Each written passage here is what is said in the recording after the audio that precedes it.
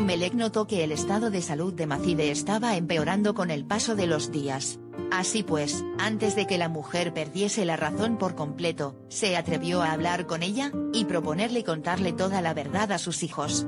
Sin embargo, la matriarca de los Actanir siguió en sus treces, y le pidió a la mujer que no contase nada sobre su dolencia, pues lo que más temía era convertirse en una carga para los suyos.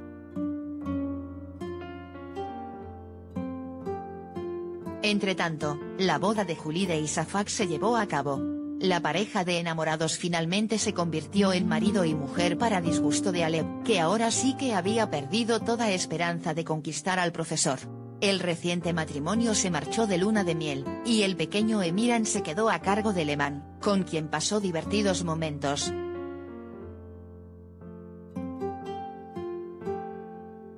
El nuevo plan de Tufan.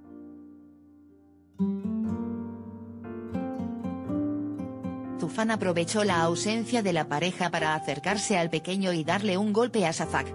Sin que éste pudiese hacer nada, el hombre logró hacerse con la tienda de lanas de Lehman. Esta quedó devastada al saber a qué clase de persona vendió su negocio de toda la vida. Por otro lado, Mahir habló de nuevo con Kilmet, y puso fin a su alianza con ella le aseguró que no la seguiría más en su venganza contra los Actanir, la cual, posiblemente acabase con la muerte de Macide. Esta, por su parte, visitó la tumba de su marido Sepki junto con Kerem. La mujer no dejaba de pensar en su fallecido esposo, y necesitaba entrar en contacto con él de alguna manera.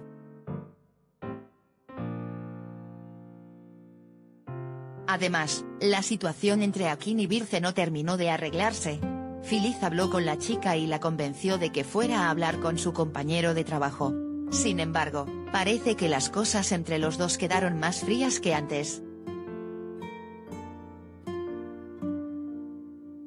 Contenidos relacionados.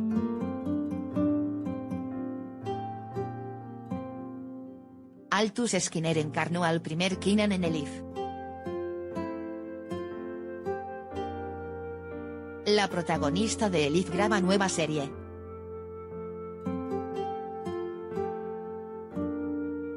Elif, llegó la boda.